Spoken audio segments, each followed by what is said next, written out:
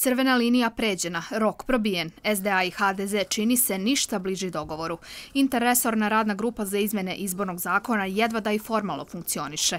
To je ono što će predstavnici vlasti u Bosni i Hercegovini iznijeti na sto pred Metjua Palmera, američkog izaslanika za Zapadni Balkan.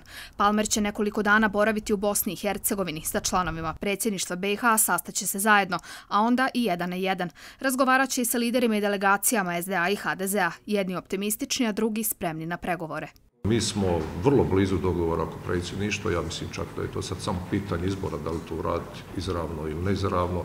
Oba modela mislim da su razrađena. Biće ti intenzivni razgovori i vjerujem da ćemo bar za jedno pitanje naći konačan dogovor u nedelju, onda vidjet ćemo koliko će nam još treba pitanja za vremena za ova druga pitanja. Kako su zainteresirani konkretno ljudi iz HDZ-a za jednu stvar, za izmjenu konstrukta Ustava Bosne i Hercegovine, onda smo mi zainteresirani za ovu drugu. Oni smatraju da, smo, da su diskriminirani na jedan način, mi smatramo da smo diskriminirani na drugi način. Stvar pregovora. A pregovaralo se, i to još od Mostarskog sporazuma, tačnije više od godinu dana. Od svojih stavova niko ni milimetar nije odstupio. Izetbegovićev zahtjev da se smanji ovlasti domova naroda i svedu na one ovlasti koje imaju vijeća naroda u Republici Srpskoj je nerealan. HDZ odnosno Čović, ne može na to pristati i to bi značilo korijenitu promjenu ustava i e, na neki način napuštanje koncepta konstitutivnosti kao temelja Dejtonskog sporazuma.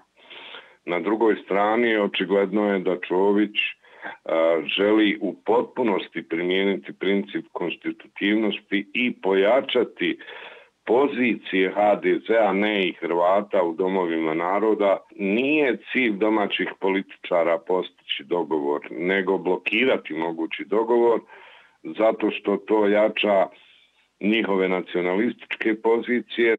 Palmer je u martu razgovarao sa liderima vladajućih stranaka te jasno rekao kakav je stav Sjedinjenih država. Do svoje naredne posjete očekivao je promjene za koje je između ostalih bila zadužena interresorna radna grupa za izmjene izbornog zakona.